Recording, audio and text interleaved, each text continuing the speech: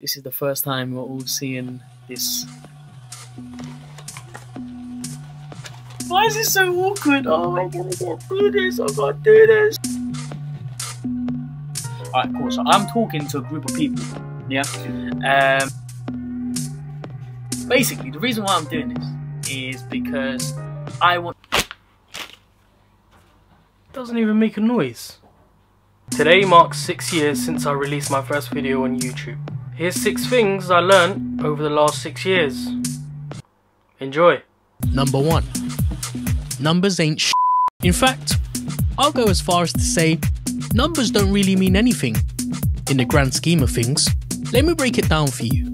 Numbers in the context of YouTube is used as a metric to measure how popular you are.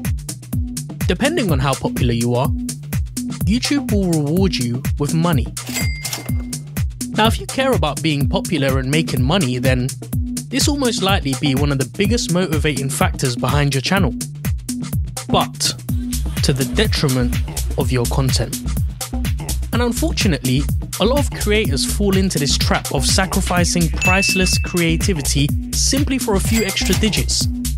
I believe if you're brave enough to execute your ideas without chasing the numbers, they'll eventually end up chasing you. Which leads me to number two consistency is key. In life, there are two types of people winners and losers. How you choose to define these groups is a matter of opinion, But one thing is certain.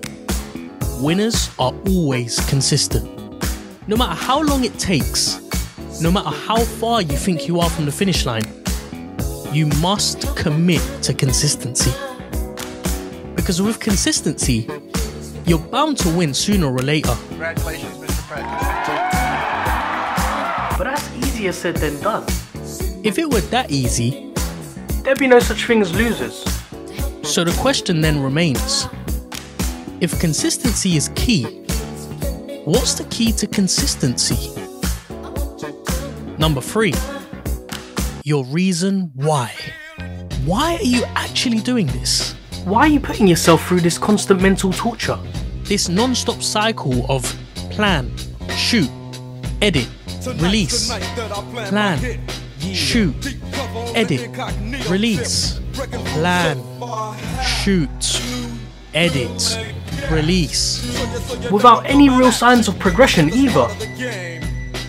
I'll tell you why. Because my motivation is bigger than any barrier anyone can ever throw at me. It's the single contributing factor for why I wake up every single day. That's kind of what you need to nail at the very beginning. You can't enter this space blindly. And most importantly, You can't enter this space because you just want to have fun. You're in for a shock if you think that's the case. Number four, compare yourself to no one. I think one of the biggest reasons for why people start a YouTube channel is because they've seen someone they admire do it, and for whatever reason, they somehow think the feeling they get from consuming their favorite YouTuber's content can somehow be replicated by making their own version of that content. It got to a point where I was even trying to learn how to skateboard. What's worse still is creating a channel to then replicate your favorite YouTuber's content instead of making your own. no, don't do that. I guarantee you'll find no form of happiness in replicating work that already exists. I never had any real purpose for making videos. So that was it. I stopped making videos. Instead, look within yourself and figure out what it is that you want to share with the world. And from what angle you want to share that perspective. Think of it like a piece of artwork. Nobody's paying to see a replica of the Mona Lisa. Number five, story is king. When I first started making videos, I was obsessed with pretty visual shots, smooth cinematography, and perfectly timed editing.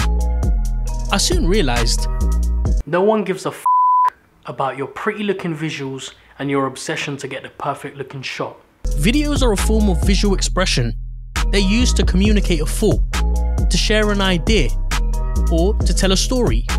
These powerful pieces of content have the potential to change the world, to change the way you think, feel, and ultimately live your life. I like to think of my videos as little tiny pieces of my brain. that have been brought to life for people to dissect and examine, in the hopes that my ideas will one day influence the masses. Number 6. Making videos is an endurance sport. This is something I picked up quite recently. If you combine the first five things I mentioned, you start to understand what it means to create content, and most importantly, what it takes. The majority of creators will quit in their endeavors very early on. A handful will quote unquote make it. That's because they're the ones who truly internalize The concept of not if, but when. Success as a quote unquote YouTuber shouldn't be defined in the first six months, or in some cases, the first six years, but a constant redefining phase of what now. You need to understand that the beauty of this game isn't limited to just subscribers, views, and making money. But how often you're able to churn out powerful stories. The process shouldn't be fun.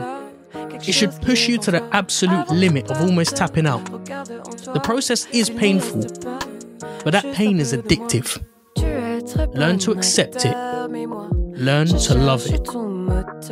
So those are the six things that I've learned over the last six years. Here's the six more. I think. Tu es très bon acteur, mais moi, je cherche ton moteur.